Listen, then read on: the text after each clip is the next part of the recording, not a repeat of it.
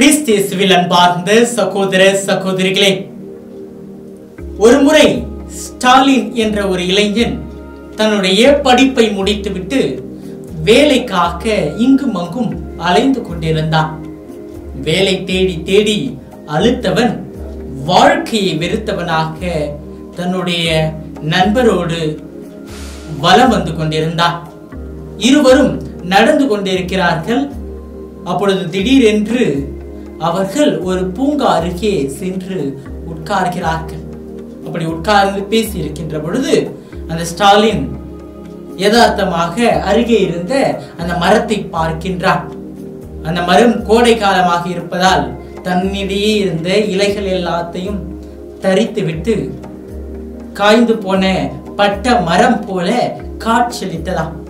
அப்பொழுது அந்த ஸ்டாலின் அந்த மரத்தை பார்த்து இன்றைக்கு உன்னுடைய நிலையும் என்னுடைய நிலையும் ஒன்றுதான். இருவருமே எதற்கும் புண்ணியம் இல்லாமல் இருக்கின்றோம் என்று கூறினானாம். உடனே அவன் அருகே இருந்த அவன் நண்பன் போஸ்கோ ஸ்டாலின் ஏன் இப்படி பேசுகிறார் வாழ்க்கையை வெறுத்தவனைப் போல இப்படி பேசுவது சரியல்ல. அந்த மரத்திற்கு ஒரு காலம் இருக்கிறது. இன்னும் சில நாட்களில் கோடை மழை வரும். அப்பொழுது பூமி குளிரும். இந்த மரத்திலே மீண்டுமாக புதிய இலைகள் துளிர்விடும் என்று கூறினானாம் அதன் பின்பு அவர்கள் பேசிவிட்டு வீடு சென்றார்கள். இந்த ஸ்டாலினுக்கு தன்னுடைய நண்பன் சொன்ன வார்த்தைகள் மனதில் உறுத்தி கொண்டே இருந்ததாம். அதன் பிறகு சில நாள்கள் கழித்து அவன் கூறியதைப் போலவே மழை பெய்தது பூமி குளிர்ந்தது எல்லா இடத்திலும் புல்கள் வளர ஆரம்பித்தது. அப்பொழுது அவன் தன்னுடைய நண்பன் சொன்ன அந்த மரத்தை நினைவு கூர்ந்து அதே பூங்காவிற்கு சென்று அந்த மரத்தை பார்க்கின்றான் பட்ட மரமாக இலைகள் இன்றி காணப்பட்ட அந்த மரம் புதிய தளிர்களை விட ஆரம்பித்தது. அதை பார்த்த உடனே அவன் உள்ளத்திலே ஒரு சந்தோஷம். அந்த நிமிடம் அந்த மரத்திற்கு எப்படி மழை புது தளிர் விட காரணமாக இருந்ததோ இவனது வாழ்க்கையை மாற்றுவதற்கு அவனுடைய உள்ளத்திலும் நம்பிக்கை என்னும் ஒரு தளிர் விட்டதா? அதன் பிறகு விடாமுயற்சியோடு தன் மீது நம்பிக்கை கொண்டு மீண்டுமாக அவன் வேலையை தேட ஆரம்பித்தான்.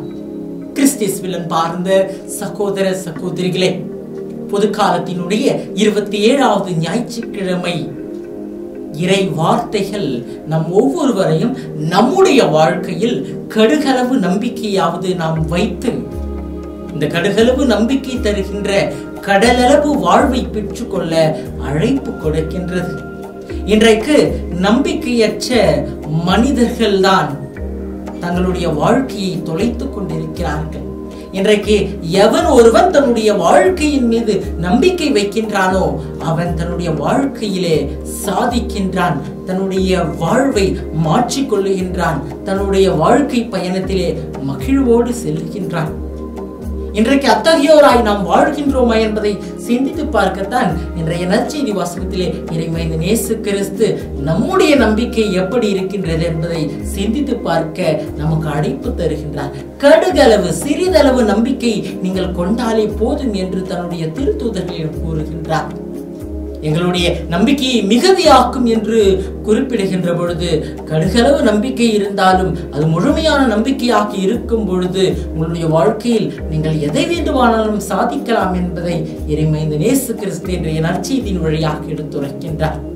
அன்பார்ந்தவர்களே இந்த கடுகளவு நம்பிக்கை என்று நாம் சிந்திக்கின்ற பொழுது நம்முடைய நம்பிக்கை சிறிதளவாக இருந்தாலும் அது ஒரு முழுமை பெற்ற நம்பிக்கையாக இருக்க வேண்டும். எப்படி நம்முடைய நம்பிக்கை முழுமை பெற்ற நம்பிக்கையாக இருக்கும் என்று சிந்தித்து பார்க்கின்ற பொழுது விவிலியத்திலே நம்பிக்கையை பற்றி பேசுகின்ற பல பகுதிகளில் நமக்கு இந்த கடுகளவு நம்பிக்கையினுடைய சில குணநலன்களை நமக்கு எடுத்துரைக்கின்றது. பழைய ஏற்பாட்டிலே தொடக்க நூலிலே இருபத்தி ஒன்றாவது அதிகாரத்திலே இரண்டு முதல் உள்ள இறை வசனங்களிலே ஆபிர்காம் இறைவனுடைய அழைப்பை ஏற்று தன்னுடைய ஒரே மகனை பலியிட சென்றதை நாம் வாசிக்கின்றோம். இங்கு ஆபிரகாம் இறைவன் மீது கொண்ட நம்பிக்கையின் பொருட்டு தன்னுடைய ஒரே மகனை இழக்க தயாராக இருக்கின்றார். அப்படி என்றால் ஆபிரகாமின் நம்பிக்கையில் அங்கு தியாகம் இருந்தது. தன்னுடைய மகனை இந்த தன்னுடைய நம்பிக்கைக்காக அவர் தியாகம் செய்ய தயாராக இருந்தார். அன்பார்ந்தவர்களே இதுதான் கடுகளவு நம்பிக்கையினுடைய முதல் குணமாக நாம் பார்க்கின்றேன். நம்முடைய நம்பிக்கை சிறிதளவு இருந்தாலும் அது ஒரு முழுமை பெற்ற நம்பிக்கையாக இருக்க வேண்டும் என்றால் அது நம்முடைய நம்பிக்கையில் நம்முடைய நம்பிக்கையின் பொருட்டு நாம் எதையும் இழப்பதற்கு தயாராக இருக்க வேண்டும். இன்றைக்கு அத்தகையோராய் நாம் இருக்கின்றோம் என்று சிந்தித்து பார்ப்போம். ஆபிரகாம் தன்னுடைய இறை நம்பிக்கையின் பொருட்டு தன்னுடைய மகனை இழப்பதற்கு தியாகம் செய்வதற்கு தயாராக இருந்தார் இன்றைக்கு அப்படி நான் தயாராக இருக்கின்றேனா என்பதை நாம் சிந்தித்து பார்ப்போம். இரண்டாவதாக நம்முடைய கடுகளவு நம்பிக்கையினுடைய மிக முக்கியமான குணமாக நாம் பார்ப்பது விடாமுயற்சி. விடாமுயற்சியோடு கூடிய ஒரு நம்பிக்கை நமக்கு தேவைப்படுகின்றது. மத்திய நற்செய்தியிலே பதினைந்தாவது அதிகாரத்திலே நாம் பார்க்கின்றோம் காணானிய பெண்ணினுடைய நம்பிக்கை. இந்த காணானிய பெண் இறைமைந்த இயேசு கிறிஸ்துவிடம் சென்று தன்னுடைய மகளுக்காக பரிந்து பேசுகின்றார். தன்னுடைய மகளை குணப்படுத்துவதற்காக ஐயா தாவீதின் மகனே என் மீது இறங்கும் என்னுடைய மகளை குணப்படுத்தும் என்று கேட்கின்றார். ஆனால் இறைமைந்த நேசு கிறிஸ்து அந்த பெண்ணானவர் கேட்கின்ற பொழுது முதலில் அமைதியாக இருக்கின்றார் பின்பு இஸ்ராயல் குலத்தவருள் காணாமற் போன ஆடுகளுக்காகவே நான் வந்தேன் என்று குறிப்பிடுகின்றார் மூன்றாவதாக பிள்ளைகளுக்கு கொ- கொடுப்பதை நாய்க்குட்டிகளுக்கு போடுவது முறையல்ல என்று குறிப்பிடுகின்றார் ஆனால் ஒவ்வொரு முறையும் இந்த பெண்ணானவள் விடாமுயற்சியோடு தன்னுடைய நம்பிக்கையை வெளிப்படுத்துவதை நாம் இங்கு பார்க்கின்றோம். இறுதியாக மேசையிலிருந்து சிந்துகின்ற அந்த சிறு துண்டுகளை நாய்க்குட்டிகள் சாப்பிடுமே என்று தன்னுடைய அந்த விடாமுயற்சியோட அளப்பரிய அந்த நம்பிக்கையை இறைவன் மீது அவர் வெளிப்படுத்துவதன் மூலமாக அந்த இயேசுவினுடைய அந்த புதுமையை அவர் கண்டுகொண்டார். அன்பார்களே இன்றைக்கு நம்முடைய நம்பிக்கை எப்படி இருக்கின்றது என்று நாம் சிந்தித்து பார்ப்போம். இன்றைக்கு நம்முடைய நம்பிக்கையிலும் இந்த விடாமுயற்சி இருக்கின்றதா இந்த விடாமுயற்சி இன்றைக்கு நம்முடைய நம்பிக்கையிலே தேவைப்படுகின்றது. கடுகளவு நம்பிக்கையா இருந்தாலும் அது விடாமுயற்சியோடு கூடிய நம்பிக்கையாக இருக்க வேண்டும். எக்காலத்திலும் இருக்க வேண்டும். ஒரு குறிப்பிட்ட காலத்திற்கு மட்டும் இருக்கக்கூடாது. நான் கஷ்டப்பட்டாலும் என்னுடைய வாழ்க்கையிலே சோதனைக்கு உட்பட்டாலும் துன்பமான ஒரு சூழலிலும் அல்லது இன்பமான ஒரு சூழலிலும் நான் நம்பிக்கையோடு இருக்க வேண்டும். அந்த நம்பிக்கை விடாமுயற்சியோடு கூடிய ஒரு நம்பிக்கையாக இருக்க வேண்டும். இதற்காகத்தான் இன்றைய நாளிலே இறைமைந்த நேசு கிறிஸ்து நமக்கு அழைப்பு மூன்றாவதாக நம்முடைய நம்பிக்கை ஒரு முழுமையான நம்பிக்கையாக இருக்க வேண்டும். வெறும் அரைக்குறை நம்பிக்கையாக இருக்கக்கூடாது. சந்தேகம் கொண்ட நம்பிக்கையாக இருக்கக்கூடாது. ஒரு முழுமையான நம்பிக்கையாக இருக்க வேண்டும். மத்திய நற்செய்தியை ஒன்பதாவது அதிகாரத்திலே பன்னிரண்டு ஆண்டுகளாக இரத்த போக்கால் அவதியுற்ற ஒரு பெண்ணானவள் இயேசுவினுடைய ஆடையை தொட்டாலே போதும் நான் குணமடைவேன் என்ற ஒரு நம்பிக்கை கொள்கிறார் அது முழுமையான நம்பிக்கை. நூறு சதவீதம் முழுமையான நம்பிக்கை. தன்னுடைய உள்ளத்திலிருந்து வந்த ஒரு நம்பிக்கை. இன்றைக்கு அத்தகைய ஒரு நம்பிக்கை நமக்கு தேவை. வெறும் பேச்சளவிலே வெறும் செயலளவிலே நானும் நம்பிக்கை கொண்டிருக்கின்றேன் என்ற ஒரு நம்பிக்கை பொருளற்ற நம்பிக்கை. ஆனால் ஒரு முழுமையான நம்பிக்கை என்று சொல்கின்ற பொழுது இறைவன் மீது எத்தகைய ஒரு சூழலிலும் நாம் கொண்டிருக்கின்ற நம்பிக்கை. என்னுடைய வாழ்க்கையின் மீது என்னுடைய வாழ்வின் இலக்குகளின் மீது உறவுகளின் மீது எத்தகைய ஒரு சூழலிலும் நான் வைக்கின்ற ஒரு நம்பிக்கை. அது என்னுடைய உள்ளத்திலிருந்து வெளிப்படுகின்ற ஒரு நம்பிக்கை. இன்றைக்கு நம்முடைய நம்பிக்கை சிறிதளவாக இருந்தாலும் சரி இந்த முழுமையான இந்த நம்பிக்கை நம்முடைய நம்பிக்கையிலே இருக்க வேண்டும். நான்காவதாக நம்முடைய நம்பிக்கை ஆழமான நம்பிக்கையாக இருக்க வேண்டும். மத்திய நற்செய்தியிலே நம் எட்டாவது அதிகாரத்திலே பார்க்கின்றோம். நூற்றுவர் தலைவர் தன்னுடைய மகனுக்காக வந்து பரிந்து பேசுகிறார். நீங்கள் எங்க வீட்டிற்கெல்லாம் வர தேவையில்லை. நான் தகுதியற்றவன். ஒரு வார்த்தை மட்டும் சொல்லும். என்னுடைய மகன் குணமடைவான் என்று சொல்கின்ற பொழுது அந்த நம்பிக்கை மிகவும் ஆழமான நம்பிக்கை. இயேசுவினுடைய அந்த ஒரு வார்த்தை என்னுடைய மகனை குணமாக்கும் என்று அவன் நம்புகின்ற ஒரு நம்பிக்கை. அன்பார்ந்தவர்களே இன்றைக்கு நாம் எல்லோருமே நம்பிக்கை கொள்ளுகின்றோம். அந்த நம்பிக்கை கடுகளவாக இருந்தாலும் சரி பெரிதாக இருந்தாலும் சரி அந்த நம்பிக்கையிலே இந்த குணநலன்கள் எல்லாம் இருக்கின்றதா என்று நாம் சிந்தித்து பார்க்க வேண்டும். என்னுடைய நம்பிக்கையில் நான் எதையும் என்னுடைய நம்பிக்கையின் பொருட்டு இழப்பதற்கு நான் தயாராக இருக்கின்றேன். அந்த தியாக உணர்வு என்னுடைய நம்பிக்கையில் இருக்கின்றதா? அல்லது என்னுடைய நம்பிக்கை விடாமுயற்சியோடு கூடிய நம்பிக்கையாக இருக்கின்றதா?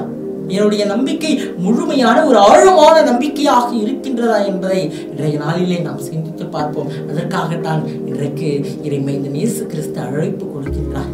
நானும் நம்பிக்கை கொண்டிருக்கின்றேன். ஆனால் எதுவும் நடக்கவில்லை என்று நாம் நினைப்பது உண்டு. ஏன் நடப்பதில்லை என்று சிந்தித்து பார்க்கின்ற பொழுது இந்த குணநலன்கள் எல்லாம் இந்த நம்பிக்கையின் பொருட்டு நாம் ஏற்கக்கூடிய வளர்த்து கொள்ளக்கூடிய இந்த குணங்கள் நம்மிடையே இல்லாமல் போவதே அதற்கு காரணமாக இருக்கின்றது. இன்றைய முதல் வாசகத்திலே அபக்குக் இறைவாக்கினர் இறைவனுடைய வாக்குறுதிகளை நம்மிடையே பேசுவது ஆக இருக்கின்றது. இன்றைக்கு அந்த வாக்குறுதிகளின்படி நாம் நடப்பதற்கு நம்மிலே கடுகளவு நம்பிக்கையாவது இருக்க வேண்டும். இந்த கடுகளவு நம்பிக்கை நமக்கு கடலளவு வ- மாற்றத்தை நம்முடைய வாழ்க்கையிலே ஏற்படுத்தும். எனவே அன்பார்ந்தவர்களே இன்றைக்கு நான் என்னுடைய இலக்குகளின் மீது நம்பிக்கை கொள்கின்றேனா? நம்பிக்கையற்ற இலக்குகள் ஒருபோதும் வெற்றி அடையாது. இன்றைக்கு நான் தேர்வில் வெற்றி பெற வேண்டும். நான் நல்லதொரு வேலை அமைத்துக் கொள்ள வேண்டும். நான் நல்லதொரு எதிர்காலத்தை அமைத்துக் கொள்ள வேண்டும். நான் நடப்பது நான் நினைப்பது எல்லாம் நடக்க வேண்டும் என்று எண்ணுகின்ற நாம் அவைகளின் மீது ஒரு முழுமையான ஆழமான அதற்காக நான் எதையும் இழக்கக்கூடிய விடாமுயற்சியோடு கூடிய அந்த நம்பிக்கையை நாம் வைப்பதில்லை. இன்றைக்கு அதை நாம் நம்மிலே உருவாக்கி கொள்வோம். வளர்த்து கொள்வோம். இன்றைக்கு எதன் எதன் மீதெல்லாம் நாம் நம்பிக்கை வைக்கின்றோம்? யார் யாரெல்லாம் மீதெல்லாம் நாம் நம்பிக்கை வைக்கின்றோம்? நம்முடைய குடும்பத்தார் மீது நாம் நம்பிக்கை வைக்க மறந்து விடுகின்றோம். நம் குடும்பத்தில் இருக்கின்ற கணவன் நம்முடைய குடும்பத்தில் இருக்கின்ற மனைவி நம்முடைய பிள்ளைகள் நம்முடைய பெற்றோர்கள் சகோதர சகோதரிகள் அவர்கள் மீது இன்றைக்கு நாம் நம்பிக்கையற்று இருக்கின்றோம். இன்றைக்கு அந்த நம்பிக்கையற்ற வாழ்க்கை நம்முடைய வாழ்வை மாற்றி விடுகிறது.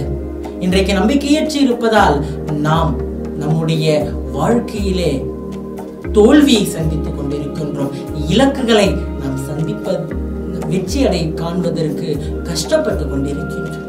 எனவே அன்பார்ந்தவர்களே நிலத்திலிருந்து தளிர் விடுகின்ற அந்த புதிய தளிரை போல இலையை போல இன்றைக்கு நம்முடைய உள்ளத்திலும் இந்த கடுகளவு நம்பிக்கை முழுமையான ஆழமான குணங்களோடு வளரட்டும். நாம் நம்முடைய வாழ்க்கையிலே ஒரு புதிய மாற்றத்தை கடலளவு மாற்றத்தை பெறுவோம். இறைவன் நம் ஒவ்வொருவரையும் ஆசீர்வதிப்பார்.